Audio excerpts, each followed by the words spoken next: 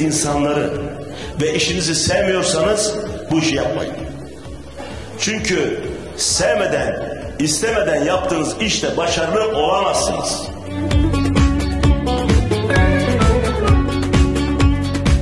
Dürüst kalmaya devam edeceğiz. Milletin parasını en iyi şekilde kullanmaya devam edeceğiz. Hepinize sevgilerimiz.